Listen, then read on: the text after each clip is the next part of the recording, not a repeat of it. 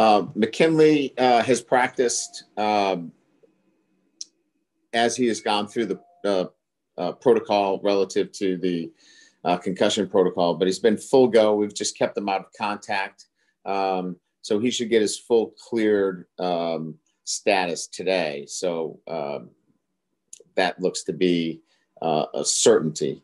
Uh, Lenzy has um, gotten engaged this week. Uh, he will not play. Uh, we expect him to be ready for North Carolina. Uh, we don't have anybody that's on our travel roster uh, over the last few weeks that that would not be traveling with us. Um, now we still have two more tests. You know, we have our test that we took this morning, uh, and then we have our Friday test. Braden Lenzy, when he's healthy, can still be a, a important part of what we're doing. Um, his role uh, will will be one where we're going to have to accentuate him within the other established players. Um, you know, Ben obviously has is going to continue to have a role in in what we do.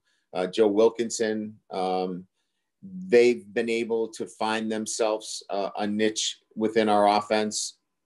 But when Braden is healthy, we certainly can use his big play ability and and he can help our football team uh, when he's healthy. There's no doubt, and we'll we'll carve out a a role that that makes us a better football team with him on the field.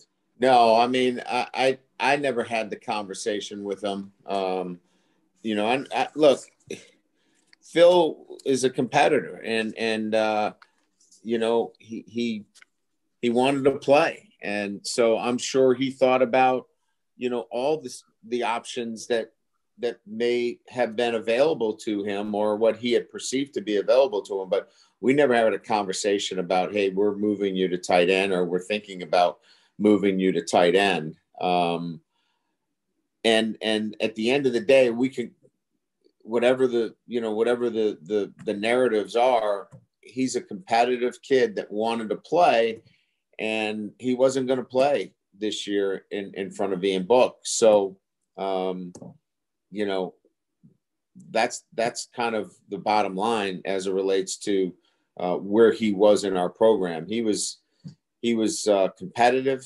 Um, he was doing the things we asked him to do, uh, but he wasn't going to start in front of uh, Ian Book.